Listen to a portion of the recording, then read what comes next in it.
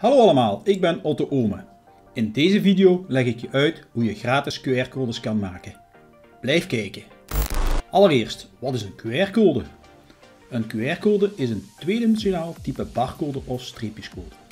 QR staat voor Quick Response. Dit betekent snel antwoord. De QR-code bestaat al sinds 1994, maar is sinds kort populair. Je vindt ze terug op flyers, posters en visitekaartjes. Een QR-code verloopt niet, ze blijft altijd geldig. Er zijn QR-codes voor websiteadressen, bijvoorbeeld mijn YouTube-kanaal. Teksten, bijvoorbeeld abonneer jij op mijn kanaal? Een V-card. Een Google Map. Een telefoonnummer. Een e-mail. En een Facebookpagina. En nog veel meer.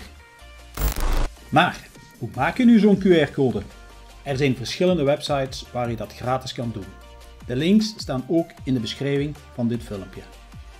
Bijvoorbeeld qrcodegenerator.nl QR-codegenerator goqr.me QR-codegenerator qrstof.com De QR-codegenerator En er zijn er nog veel meer. Ik ga je laten zien hoe je zo een QR-code maakt. Ik ben dus op een van de sites die onderaan in de beschrijving staan. Ik kies URL. Bijvoorbeeld ik wil een QR-code maken van mijn YouTube kanaal. Dan paste ik hier mijn adres van het YouTube kanaal in en ik klik op QR-code maken. En voilà, hier staat de QR-code. Hier klik je op en dan kan je ze downloaden. Ik ga met mijn iPhone de QR-code scannen.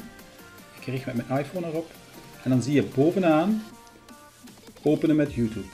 Daar tik ik op en dan zie je dat mijn kanaal wordt geopend.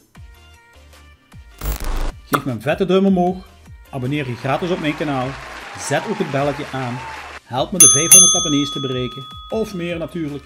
Deel dit filmpje met je vrienden en laat ook wat commentaar achter onder het filmpje. Tag.